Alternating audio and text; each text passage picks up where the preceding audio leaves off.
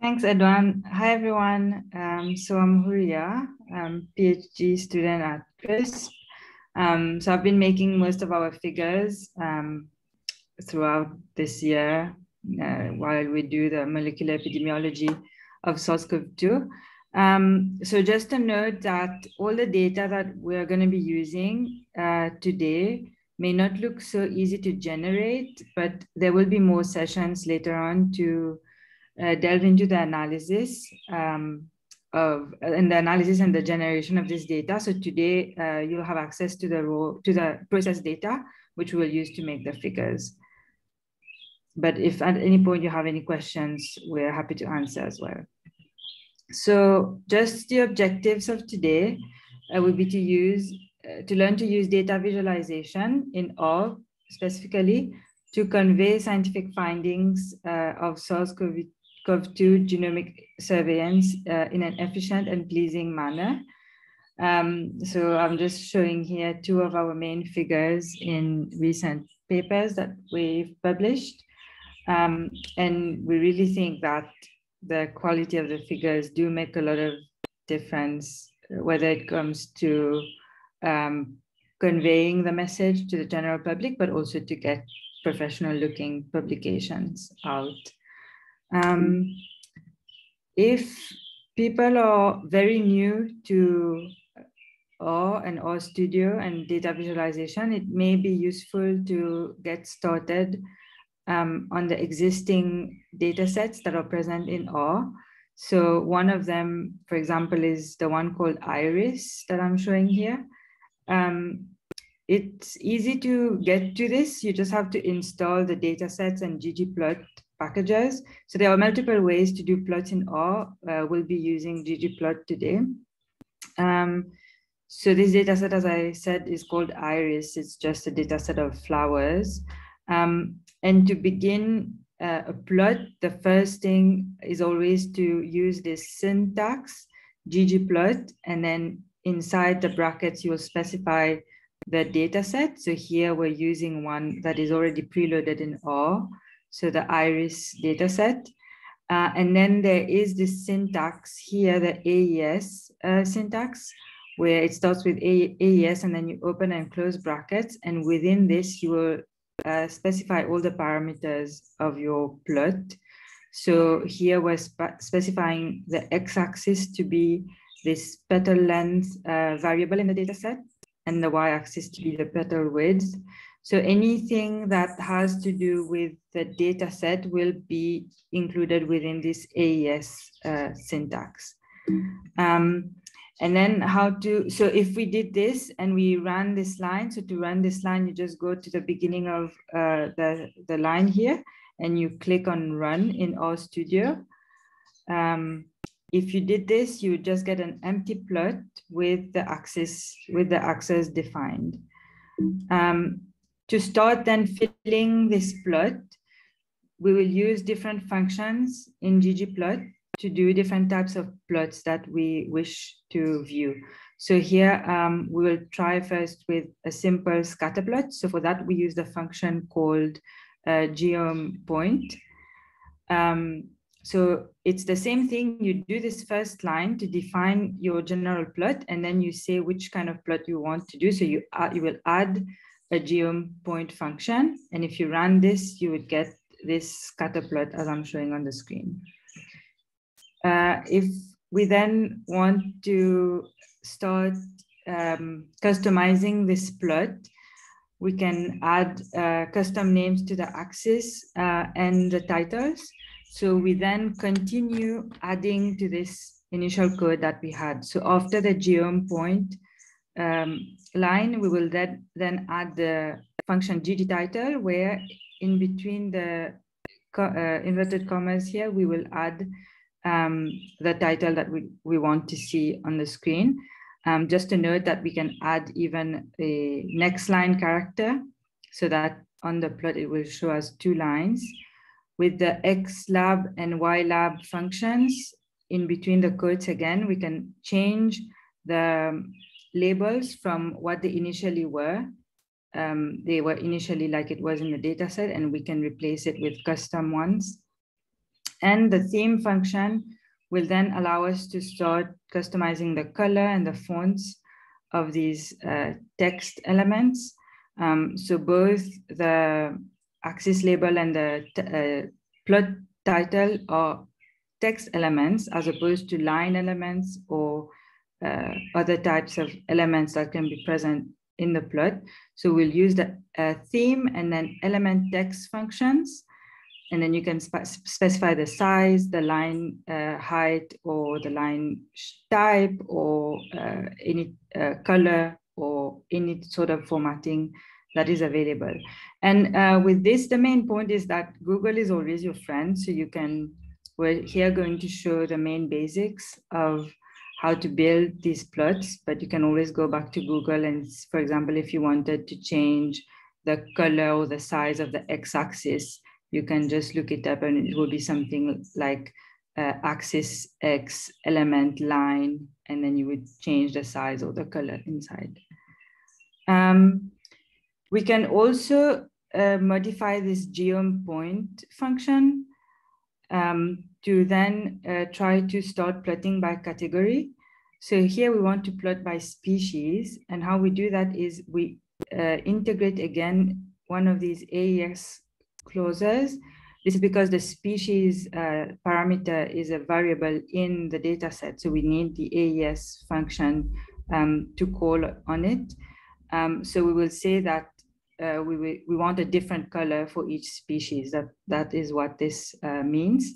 And then we can choose the shape. And again, you can look up uh, the shapes for ggplot. Here, uh, shape 15 means small squares, and you can choose the size.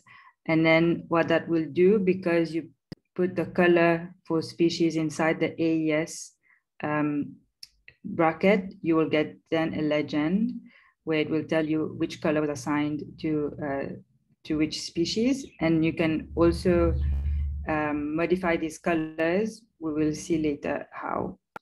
Um, the labs here is just another way to specify the name of the axis. Um, I, there's different ways to do multiple things in R and ggplot. Uh, it's just a matter of preference sometimes. Um, then there are also multiple types of plots. So we've been looking at the scatter plot with a geom point, but like that, there are different functions for each type of plot that you want to make. So for example, geom histogram would give you something uh, like in the first figure here. Geom density would give you a density plot, uh, same with a box plot or a violin plot. And again, with each of these plots, you can specify various parameters within them. Uh, and here also I'm showing how to, instead of um, just running the code and seeing uh, the figure, we can assign the result of this code to a variable P1. So this would be equivalent to saying P1 equals to this plot, this plot. Um, but in R, we use the annotation uh, like an arrow here. Uh, and then, so then you can call onto P1 later and view this figure whenever you want in your code. For example, I'm also introducing here the concept of plotting grids. Again, there's multiple ways to do this in R. Um, we will be using here the cow plot function. Um, and if you say plot grid and any, any plot that you've made before in your code that's loaded in your system, you will see them as a grid. Um, and finally, you can very easily change how your plot looks by uh, different preset themes in R. You can also create your own theme, but the preset ones are very, very useful.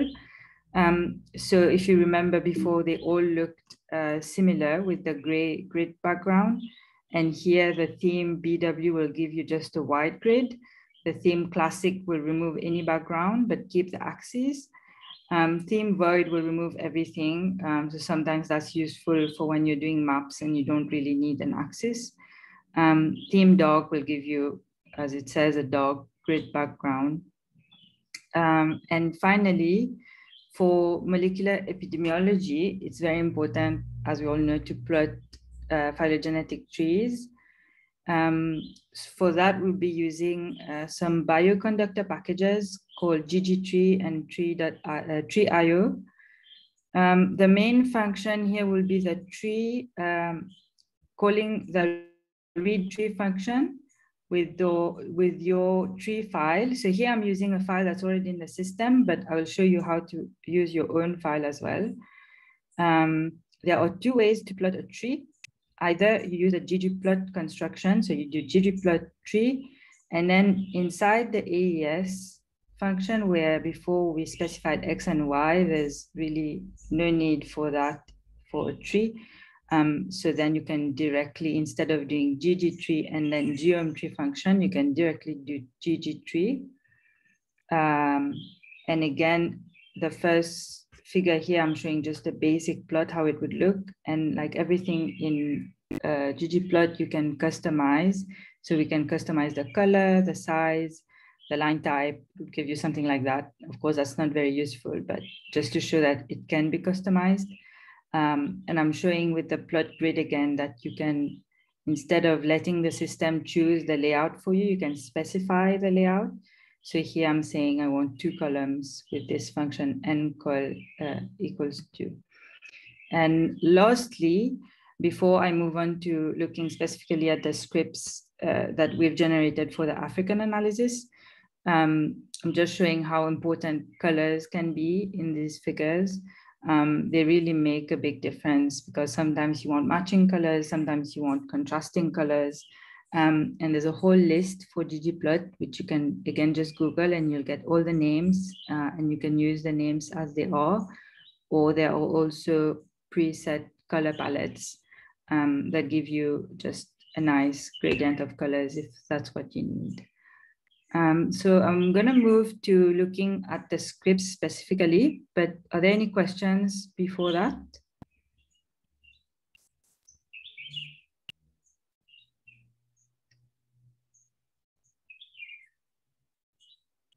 Yeah, just here, Tulio, I think that you made us quite excited to see what's coming next. okay, sure. Um, let me start sharing the script. So this is an analysis. Uh, Tulio, I don't want. I don't know if you want to talk about the analysis that we've been doing before I delve into the figures. I, I wouldn't dare to interrupt you. Eh? You, uh, fantastically, so you can talk about. so this is just uh, some of some of the people on the call may know an analysis, a Pan-African analysis we've been doing uh, for the genomic surveillance of SARS-CoV-2 in Africa. We have many wonderful collaborators um, all across the continent. Um, so we're taking the liberty here to present those figures just as a training uh, of how to generate them. So I think San has sent you a list of uh, all packages that you, you should have installed. And if you want to follow along, feel free, but you can also just um, see what I'm doing and try later on. So the main thing with R is you have to first load all of these uh, packages or libraries before you start plotting. So it's simple. You just do library and the name of the of the package or library, and you highlight everything and click run, and they should all be loaded into your system. Um, so first, we will try to plot this uh, map that you can see on the screen. We are using here for this the, a general metadata table, which uh, we can look at it. Um, so it's a sort of data that we can update, obtain from GISAID or if you get, you're curating your own. Um, that's the one we have here, focused on Africa with the different strains, the date, uh, the country, the district, um, the clade, the lineage, uh, the originating, submitting labs, uh, etc.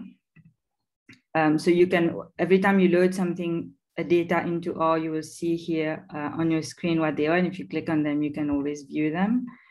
Um, so the first thing I'm doing, I'm just narrowing by region because we just want to plot for Africa. And then I'm assigning to another variable called uh, DF Africa, just so that I don't lose the first one. And then this part is pretty important. I'm just uh, converting the date in the table to a format that R can understand. So I just use this function as date. And then what I do here is that I'm breaking down this date into uh, different uh, different types of uh, groupings. So either I am breaking it down by day or by uh, biweekly or by month. Um, and this will allow us to use these different variables to plot anything, uh, whether we want it to be by week or by two weeks or by month. Um, so that's why it's useful here. Um, if anyone has questions, just let me know. I'm assuming some level of uh, knowledge. Um, but this annotation, for example, just says to create another field called days in the data frame Africa. And we're assigning it uh, whatever comes here. Um, so I am then going to want to count the number of uh, sequences per country in this table. So for that, we will use the function count. Uh, this annotation, sorry, this annotation here just means to transform. So we are transforming uh, the DF Africa into a count data frame. So if I run this, um, and then I try to view the DF count, you will then have the number of sequences for each country, um, which is very useful for what we're trying to achieve here. Uh, and then I'm just doing a bunch of renaming of variables um, just so that it can match with uh, the map that I will now uh, try to get from R. So R has um, the some libraries, so for example, raster and uh, spData and TMAP, where it stores a number of raster files, they're called, um, which uh, you can have the world um, map or, and then you can, so for example, world here, uh, I'm not plotting it, but it has the latitude and longitude for uh, every country and other data like the area or the population or the life expect expectancy, which can be useful if that's what you wanted to plot. But I'm here just narrowing it down to the continent Africa. And uh, I am again renaming the countries so that the countries in the map match exactly the countries in my data frame, um, because as we know, there can be some uh, variation. For example, we are calling it Eswatini, but the map can call it Swaziland, for example. Um, and then I am just joining the map, which here I name Africa, to my df count function. I use the left join uh, uh, function for that. Um, and then finally the plot function, we come to the plot function. So if I just did uh, ggplot Africa, I will get just an uh, empty plot without anything. Um, and then uh, let's see if this will work. So I have to just do it from the beginning again. So as you are running your code, you have to keep in mind where you've reached because as you can see here, if I rerun something else, it can overwrite a previous uh, variable, which will then give you trouble. So if I do just ggplot uh, Africa here and I view this panel A function, I'll get uh, an empty plot. But then if I add all the necessary um, functions to it, I then get the plot that I want, nicely colored plot colored by the number of sequences where the numbers are labeled. Um, so I can just maybe show if I remove the color. So I'm removing this line by just commenting it with a hash. If I remove the color um, line, it gives me uh, an automatic coloring. So what really this line does is that it assigns this palette, um, this BrBG, so this is brown green palette to the, the map. Um, and I am also transforming here by log because uh, as you can tell, South Africa has a lot of sequences, whereas maybe Madagascar has very few. So just so that the colors don't look too uniform, I do a log transform. and then I specify that I want the empty regions to be white. Um, and if I wanted uh, labeling here, uh, the, the number of breaks and uh, at which number this label should break.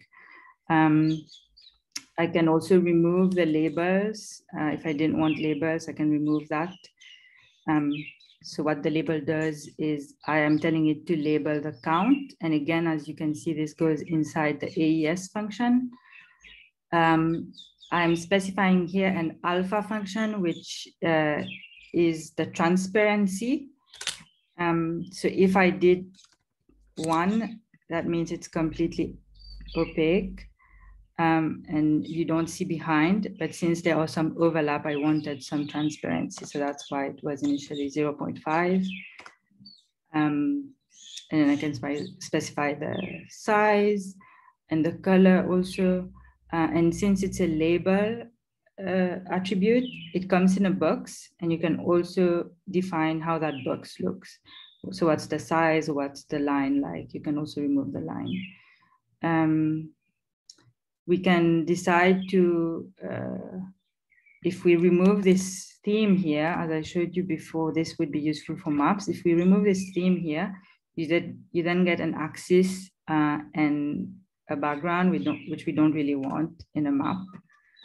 So we use the theme to, to just make it look neat. Any questions on the map before we move to the next panel?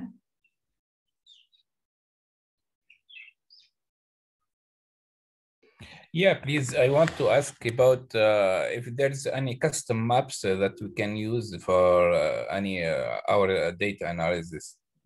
Yeah, uh, you can use custom maps. So maybe if we have time, I can show you later. But there's a general, um, a whole world map as well that you can yourself cut with your own coordinates.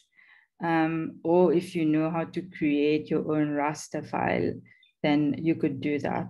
So I don't know, maybe that's why you're asking here. There's an issue, for example, with the border of Morocco. Um, it just kind of looks strange. So we, we then take that to Illustrator and uh, edit it on our own if we're not able to find a map where um, this border looks good. Um, so there's also different kinds of maps, some that are annotated by uh, various features some that have country names, road networks, and you can also add any of that uh, if you wanted. But um, I, I, don't know how to do everything also, and we're just trying to keep it neat uh, for this one. Any other question? Um, hello, everybody. Hello. Yeah, uh, first of all, uh, I'm really excited for this wonderful presentation. Um, it's really helpful. So concerning the map, um, I am just wondering, um, do you think that um, using, for example, ArcGIS, ArcGIS um, would be better um, presenting maps instead of using R? Or if you you have an idea about um, um, the efficiency of um, error uh, in comparison to ArcGIS, um, what could be your advice about those two? Um, um yeah, so ArcGIS is really good at uh, annotating maps. Uh, they may also look better. Um, we just wanted to show here how it could, could be done with RStudio because I feel like it's simpler. But um, yeah, if we're, if you're dealing heavily with maps, then it may be good to invest in learning ArcGIS or other specified software.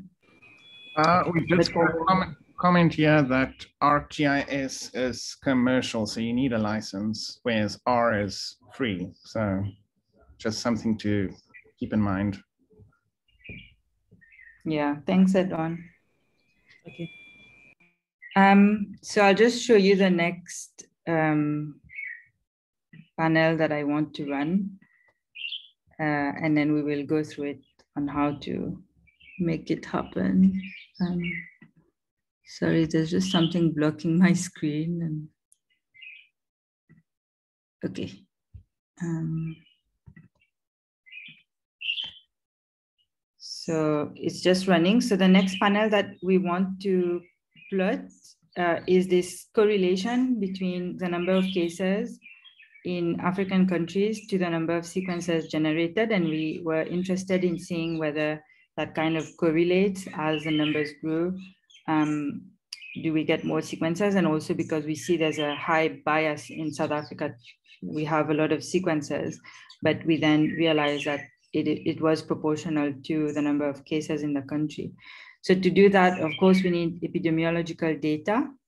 Um, I get mine from the Our World in Data COVID database. Um, so this is what uh, this data set is here. I again narrow down subset by Africa.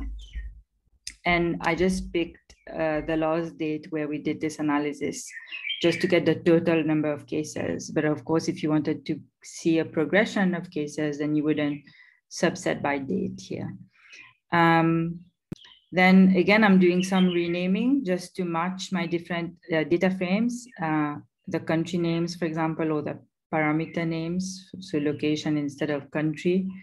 Uh, and I'm trying to join this DF count that I did for the count of sequences before to the epidemiological data. Uh, and I'm just making sure this transform function here is just making sure that all the uh, numbers are in numeric format and not in character, which can happen sometimes, and then your plot wouldn't scale nicely.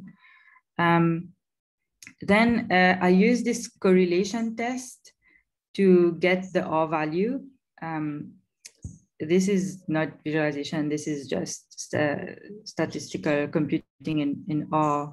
And I see that the correlation is uh, 0.91 and we see which type of correlation and all the details of confidence interval here.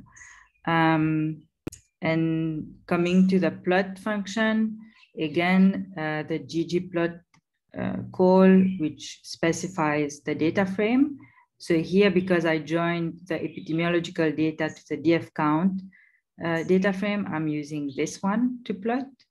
My x-axis, I want it to be the total number of cases.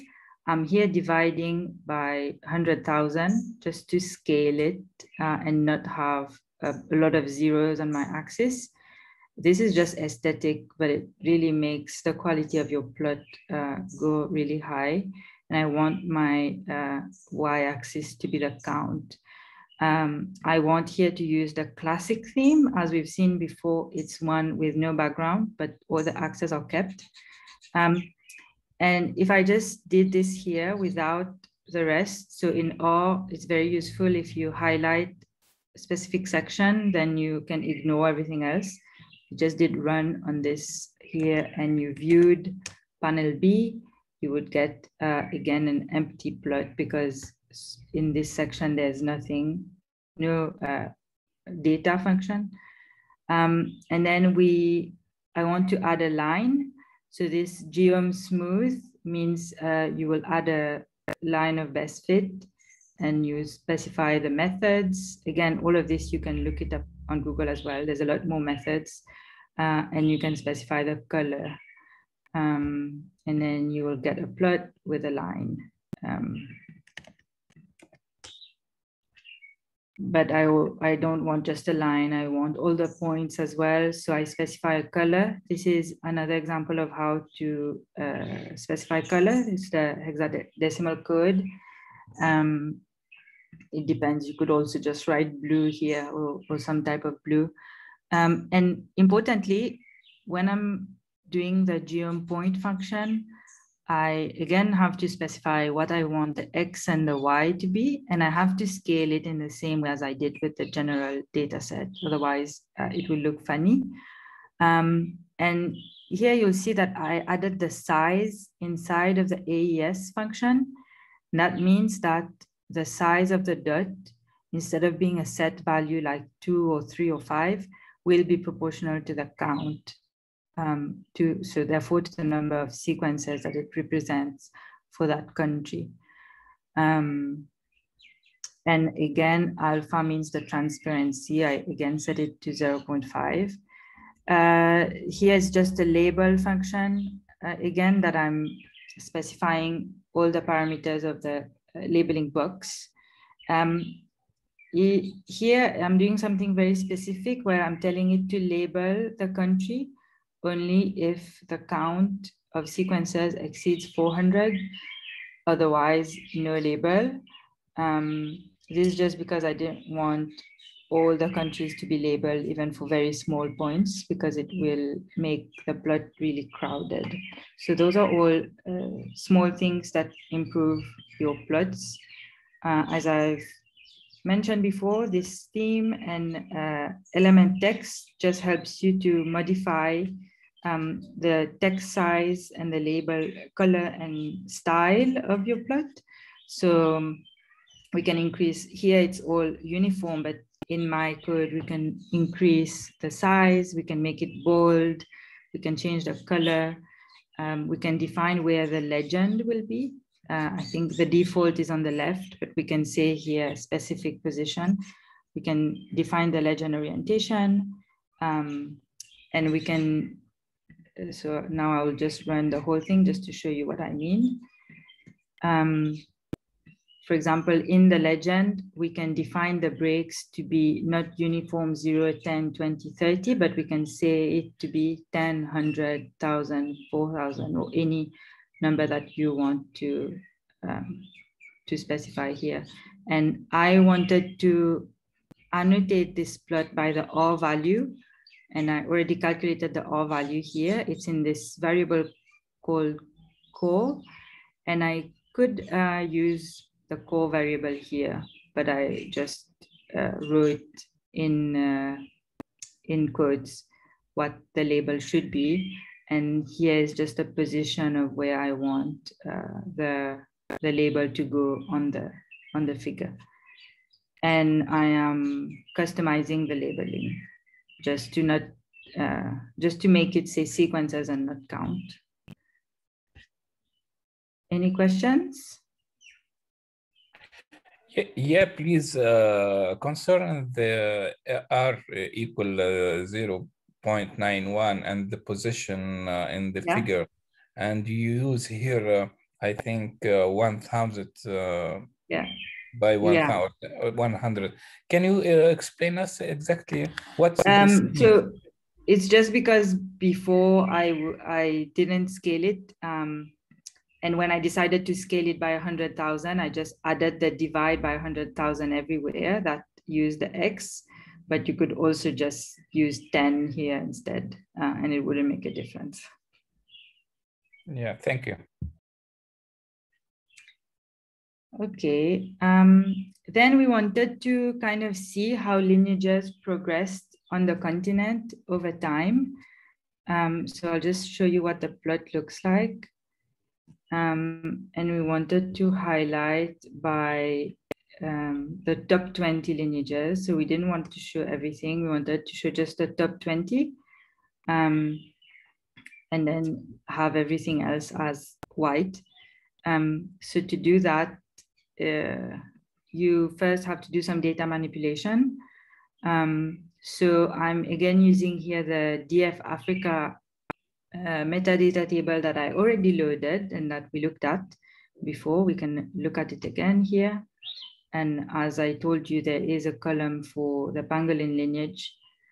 Um, what we do first is I count it. Um, this is another way to count. If you call it by as data frame, um, then you get the uh, count of lineages, uh, like I'm showing here. Um, it goes on and on. Um, I don't think it will load completely. Uh, and then I order it here by the frequency. Um, and then I only select the top 20. So this will, uh, I know it says tail, but it actually tail means the top. Um, so if I view this data set here. So you can either view in your console or you can click on the uh, data frame here and you will see it in the panel. Um, so this shows me the top 20 uh, lineages in Africa. I just assigned it to another column called Pangolin Africa, because then when I will merge it to the first data frame here, The rest, which are not part of the top 20, they will just be uh, NA, they will be empty cells uh, in the data frame, which I can then use to make such a map where only the top 20 will be shown. I am defining here a custom made palette because actually most of the palettes, they only go up to maybe nine colors or you can find some with a bit more, but uh, we needed 20 colors. So we tried to make a custom one. Um, I just went to Google and uh, searched for the color list and tried to make it nice uh, and contrasting enough um, so that you can see the differences.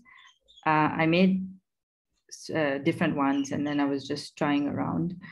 Um, so here I'm merging the first data set to the pangolin count 20, top 20 uh, data frame.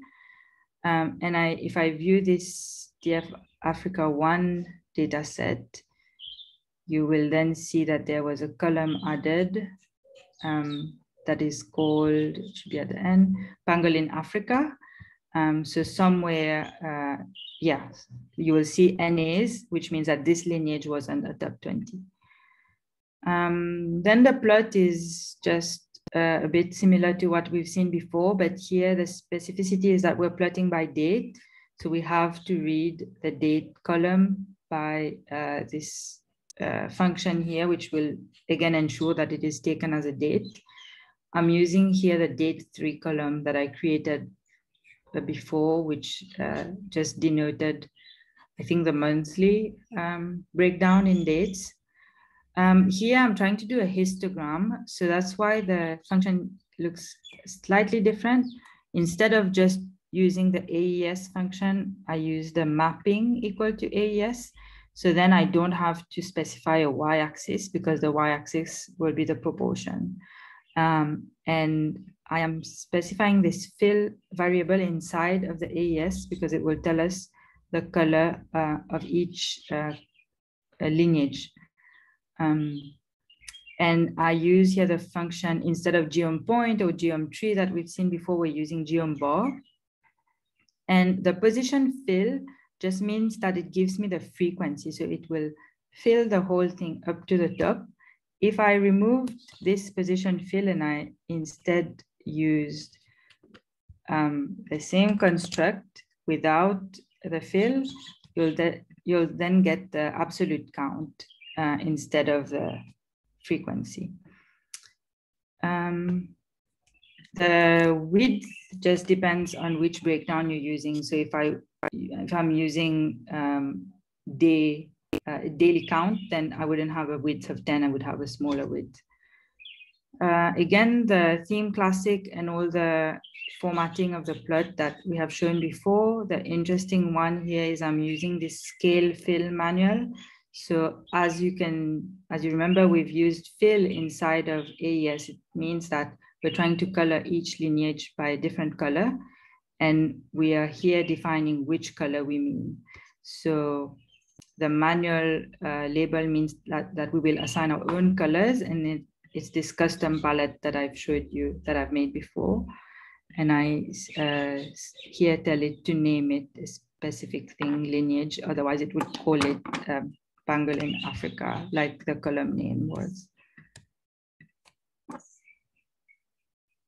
Yeah. Uh, and again, uh, I'm choosing my own labels for the axes.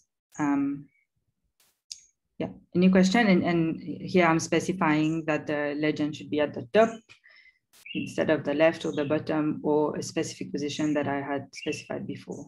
So here you can just say top or bottom or left or right. Um, and lastly, this is uh, quite an interesting one. It's kind of a temporal scatter plot. So I need to make this bigger to show you better what it is. Um, so it's still not big enough, but um, can you click so on it, zoom? Sorry? Zoom? Uh, yeah. But um, no, you wouldn't see it. It switched screen, so you wouldn't see. But I'll later show the final figure. So what we wanted to show here is as the months go by, when were sequences sampled in each country. Um, show, so we wanted to kind of show the distribution over time and all the white dots are normal like sequences of other lineages that are not variants of concern and we wanted to color the variants of concern um, with bright colors which you see uh, at the end so how we do this is um, we use this this looks quite complicated but i'll explain the segment line just um, allows us to create uh, these, maybe I'll show the figure first so that you can understand what I mean. Uh,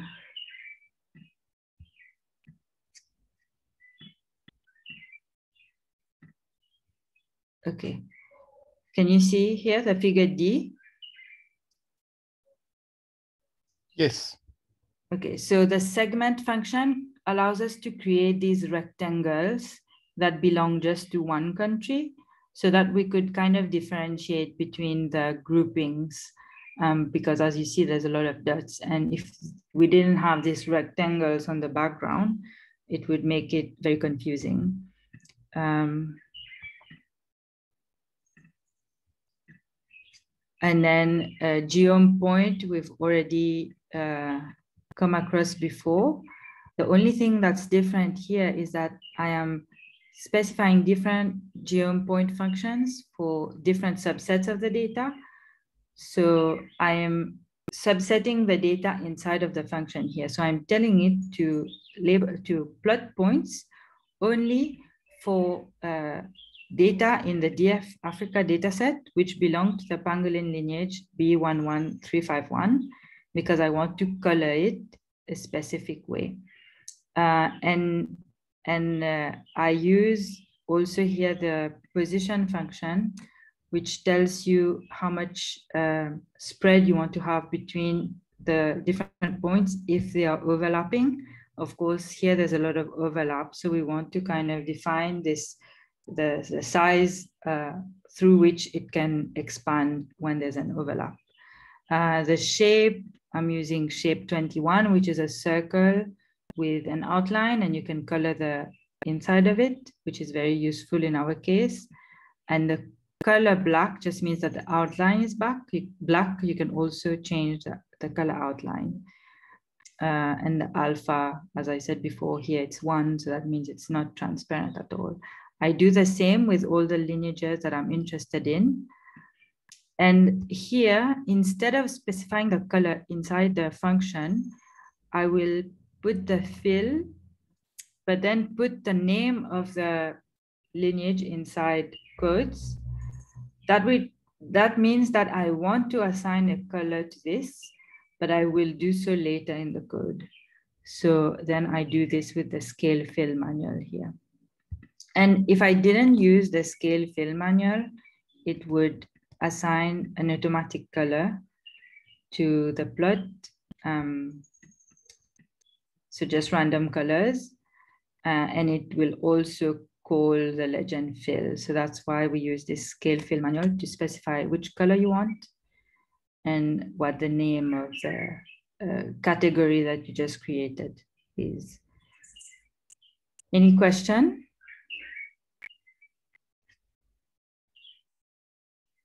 This may be a lot of information for some of you, but uh, I think once you download the script and the data, it should be easy to run. And then you just have to comment and uncomment some lines and you can see what difference that makes. Um, and it will help you understand what's the use of each line. I think I'm gonna move to figure two or so here I wanted to show how to plot, uh, how to start plotting trees um, so as I've said before, we then need the function ggtree, um, tidytree, and treeio. Um, so here is when I'm reading my own tree file. So this timetree.nuic is a file that will be created when you do your phylogenetic analysis. So for example, if you do an Nextstrain build, you can download the tree uh, and you will obtain such a tree file.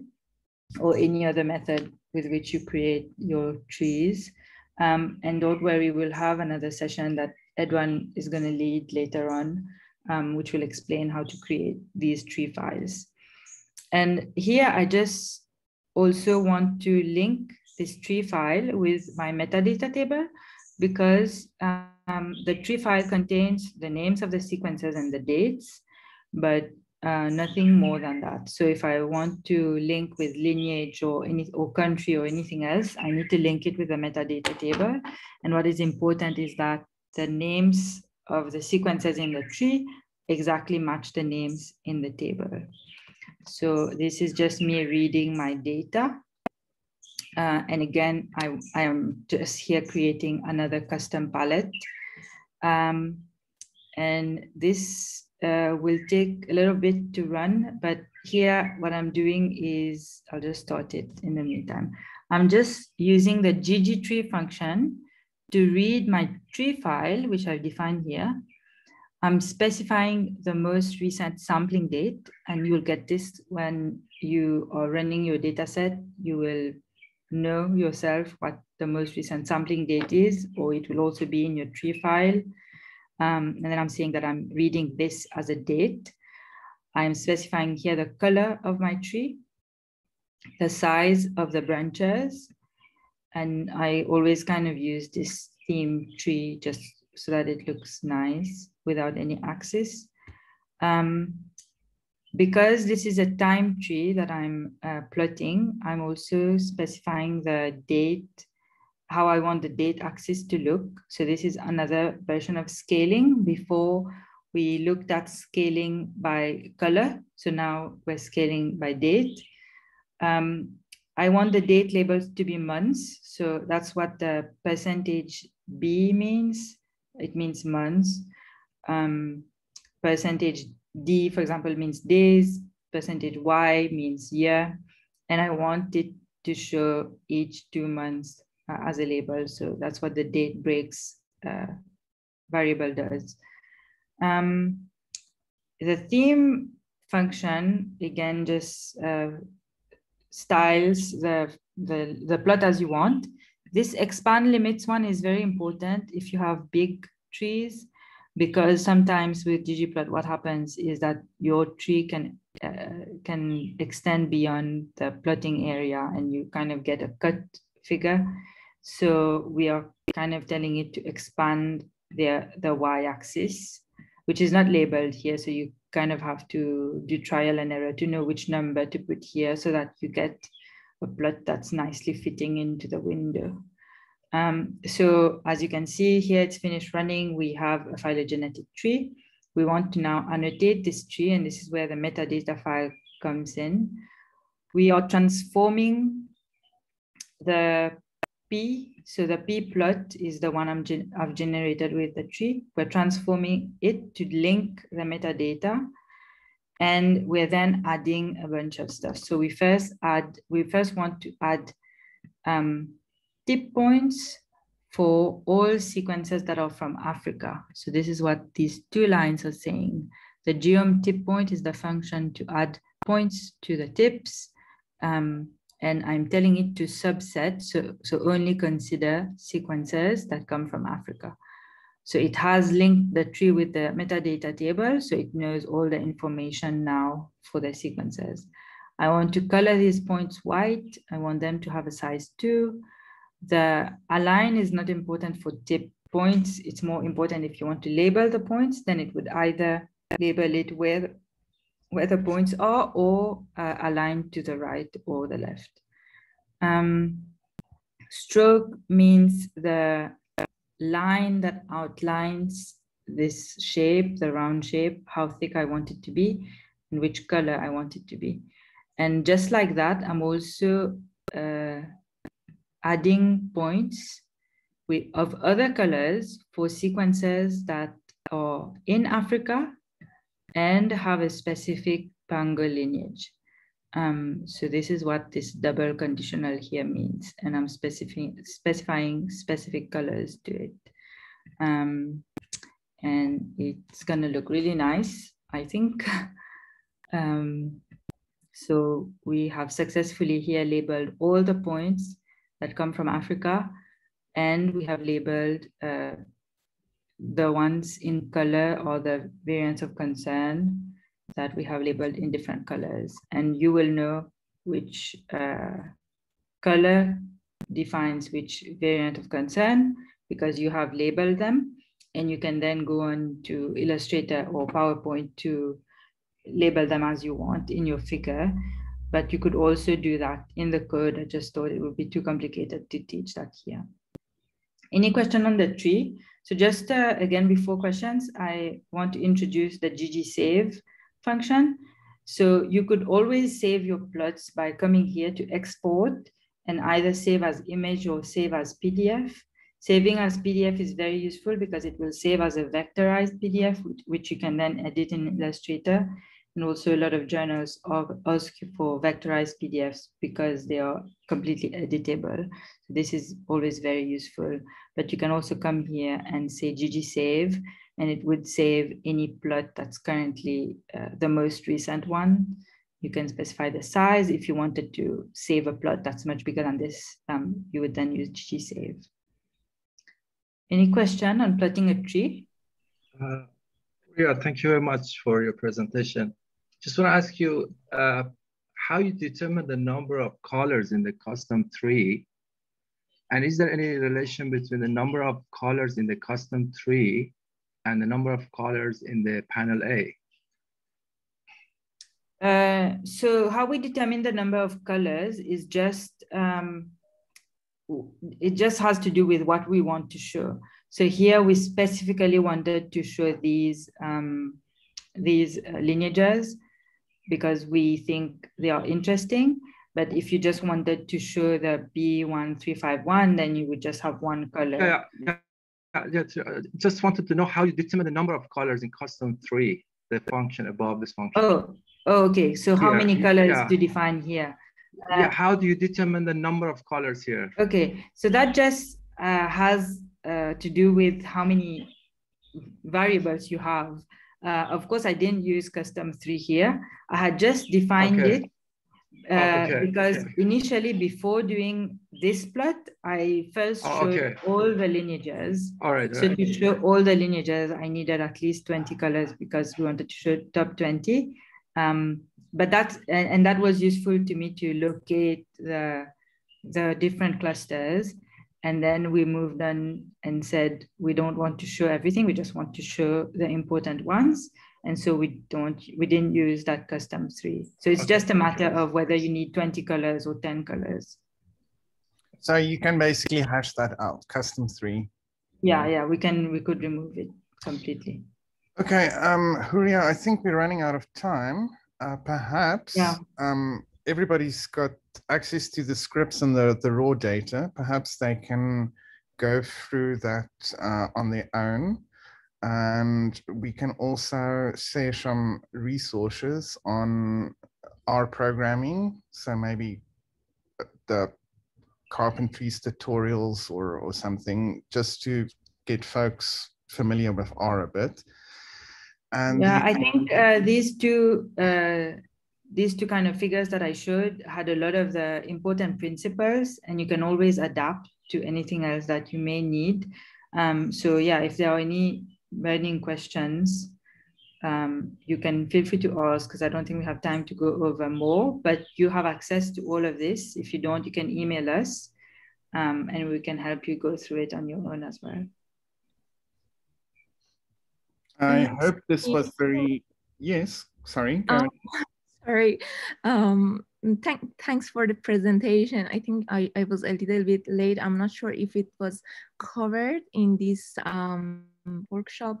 I was wondering if you had uh, the same problem uh, with uh, working with this um, GSAID or GISAID, let's say GISAID um, global tree. It has more than 500K um, branches and I mm, when I want to parallelize this um, tree, um, tree draw, drawing, it's it is really taking time computationally.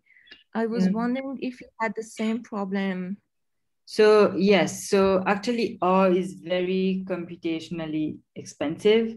Um, so even this tree, it took a while to run and uh, Eduan, I think it contains about 10,000 this one.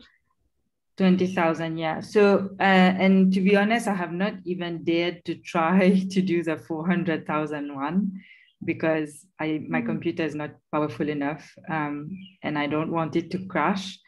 Uh, I don't think R and ggtree are a good option to do the big, big, big trees. Um, there are other, other methods for that, for example, Python uh, Baltic function. Um, yeah, I have never tried to do the 400,000 one with R. Thanks.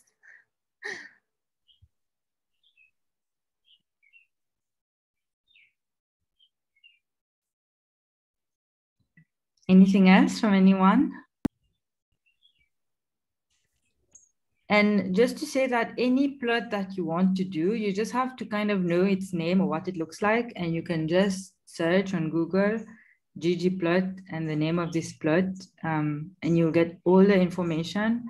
So I think with this basic kind of outline that we gave today, you'll be able to uh, personalize it to your needs. Okay, thank you, Houriiyah. I think um, that is probably one of the biggest attendance that we've got to to date. So I think folks is very um, excited about these training webinars. Um, and for for you for anyone that's that's joined us today or if you joined a little bit too late or um, halfway through we have a recording and we will be forwarding it to everybody as well thank you everyone thanks everyone